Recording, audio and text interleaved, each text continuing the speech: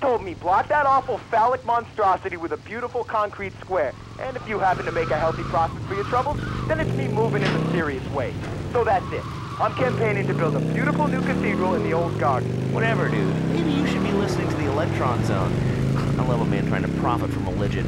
Makes you proud to be an American. Let's hit the phones. Yo. Uh, uh, hello? Yes, hello. You're on Chatterbox. What's that noise? My name's Lenny. I want to talk about shaving. Okay, what's the trouble? You got a weird rash? Uh, uh, there's no trouble. I just, I just can't stop. What? I love it. And I realized something really important. If you shave downstairs, he looks a lot bigger. You know, if you remove the brush, the tree looks bad. What are you talking about? Yeah, man. Now I don't have to get surgery down there. I just thought I'd share that with a few people. Come on, Lazlow. Don't tell me you haven't thought about Hey, it. where'd you get ideas like this? Like, my mom said, uh... All right. This show's going great. Uh, this is Chatterbox. Whatever on your mind, however big or small, just give me a call. Lines If you shave downstairs, She looks a lot bigger. Go away! Please stop calling the show.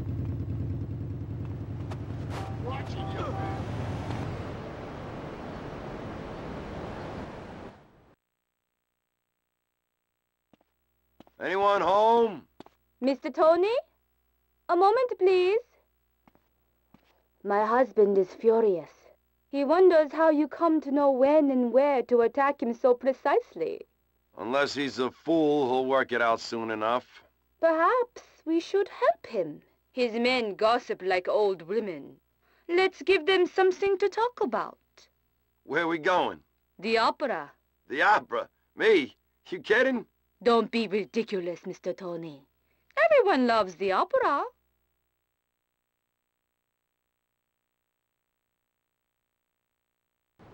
If you bring my car around, we can collect your tuxedo. We don't have long. The show starts very soon.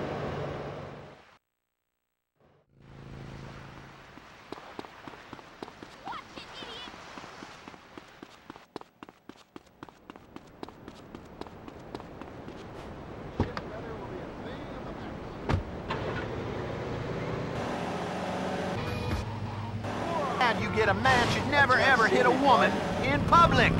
You got trouble with your wife, don't tell it to me. Tell the executive producer in the sky or he's gonna cancel your sitcom.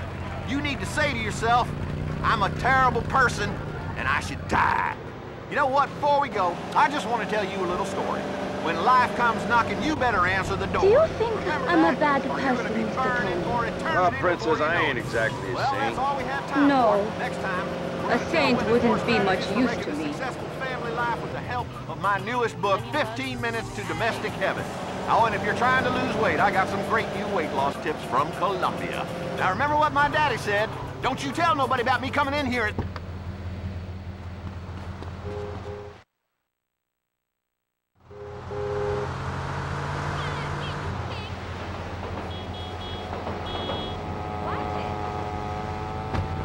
Countries hate us. Don't make me make LCFR. My husband is samurai, Mr. Toni. He is very strong, but very, very bad. He only married me to become Wakagashira in Liberty City.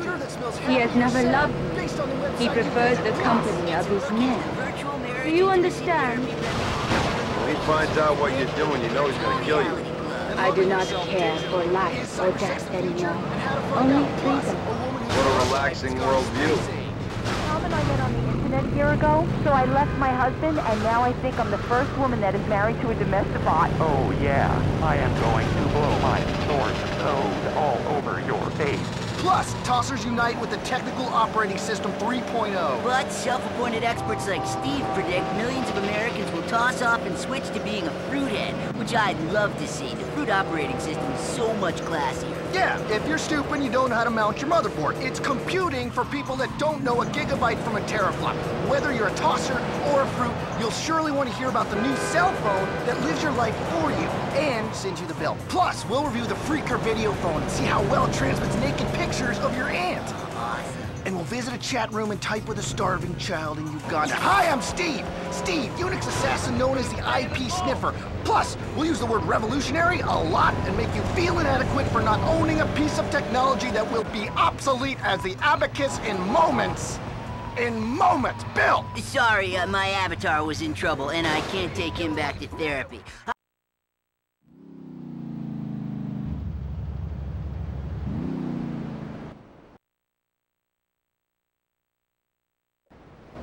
Italian blood don't mix with no Chapo blood, but it'll mix just fine on the sidewalk.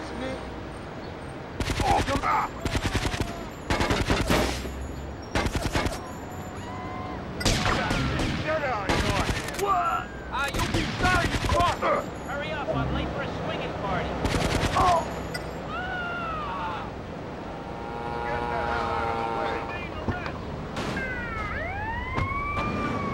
How do you find time to live your life and your virtual life? Let's go to the phones. Emote Carbon. My car!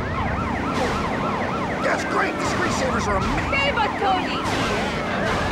LOL. Look, we all know you spend more time with your computer than girls, so why Come on, Toni! complicated?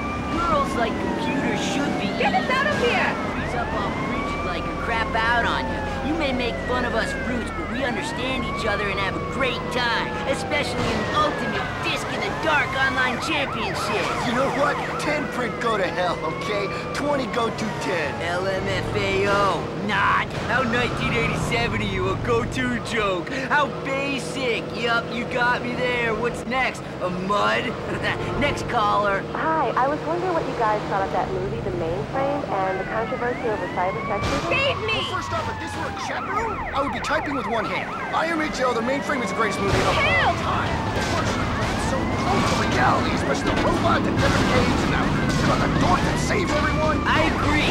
And the rant in the movie about backdoor hacking and the fudge factor, incredible. That was a metaphor from the deep bowels of hell, man. There was a guy last night in the chat room bashing the mainframe, and I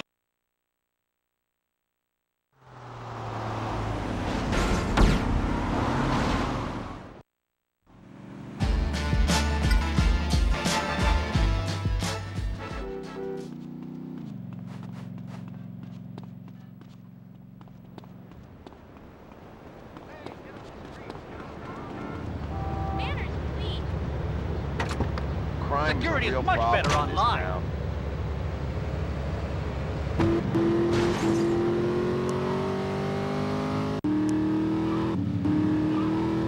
Thrax. Video games and education meet in this incredible package as you race, chase, and scream your way through a twisty course that bears a marked similarity to all the other kart racing games we made. You won! Cool, you advance to the next level where you race on the same track again! Play Vivisection at Lab Rat Kart Racing today. Ages 5 and up. Rated T for terminal. LCFR. We bring opinions, so you don't need them. Welcome back to the Electron Zone, brought to you by the House of Tomorrow. Yeah, peace, love, and unity, and death to all non-believers, man. It's a revolution out there. Yeah, tech revolution, and the revolution is coming to a retail store near you. You know what, Steve? They've been saying it for years, and it's finally happened. Robots are taking over. What was that called? In the future, there will be robots. Modern day